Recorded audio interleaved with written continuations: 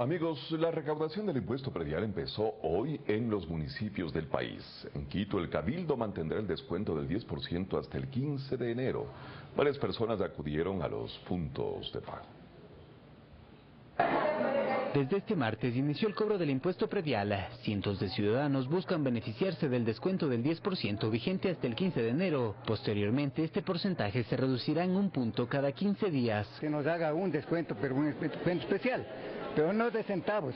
Pago los primeros días de enero y con eso salgo favorecida en el precio. Para el cobro del impuesto, el municipio de Quito ha implementado ventanillas especiales en las administraciones zonales donde se atienden solo a personas con discapacidad, mujeres embarazadas y adultos mayores, mientras que el resto de ciudadanos acuden a las más de 2.000 ventanillas del sistema financiero del país que en este año no ha habido alza de impuesto predial. Para obtener el valor a cancelar por el tributo, los ciudadanos pueden ingresar en la página web www.pam.quito.gov.es, llamar al 1-800-456-789 o por mensaje de texto al 6367 con el número de predio. Este comprobante que se imprime desde la página web es el documento autorizado para cualquier trámite municipal. Según cifras de las autoridades, en el 2016 no se logró recaudar lo presupuestado por impuestos. Se encuentran alrededor de 110 millones de dólares, lo que es cobrable, no prescrito. Es importante recordar a la ciudadanía que en el caso que no se cumpla el pago, el municipio tiene la obligación legal para iniciar acciones de cobro coactivas.